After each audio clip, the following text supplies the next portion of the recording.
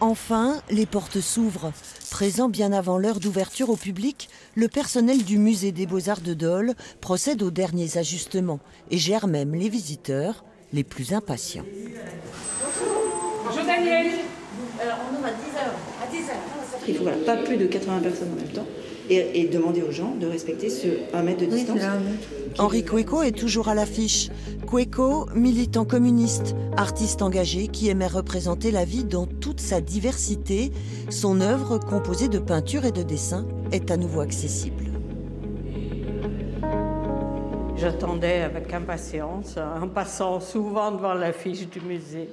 Voilà, ça y est, c'est ouvert. Cette expo, ce qui est incroyable, c'est qu'elle est ouverte pour nous depuis le mois d'octobre, ce qui est hyper long en fait. Ça n'arrive jamais une exposition qui dure si longtemps.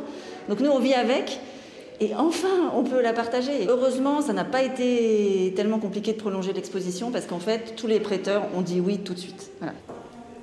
Retrouver le public, l'accueillir, le guider, reprendre contact tout simplement avec les visiteurs et avec les œuvres. Alors ça, c'est un petit peu à part par rapport à son travail. C'est un dessin d'un motard.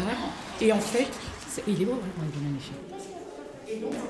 C'est là une idée de la grande. Elle a fait, faut aller au musée, c'est ouvert, faut y aller. Voilà, c'est même plus moi qui décide, ce sont les petites. Et pas besoin de réserver ni par téléphone, ni sur Internet avant de venir. On fait comme ça. Pour l'instant, on est ouvert normalement euh, et on verra bien. S'il faut euh, imposer des réservations, on le fera, mais je pense que ça ne sera pas nécessaire. Comme avant la pandémie, le musée des beaux-arts de Dole est ouvert tous les jours. Il est gratuit. Cueco, quant à lui, est là jusqu'au 12 septembre.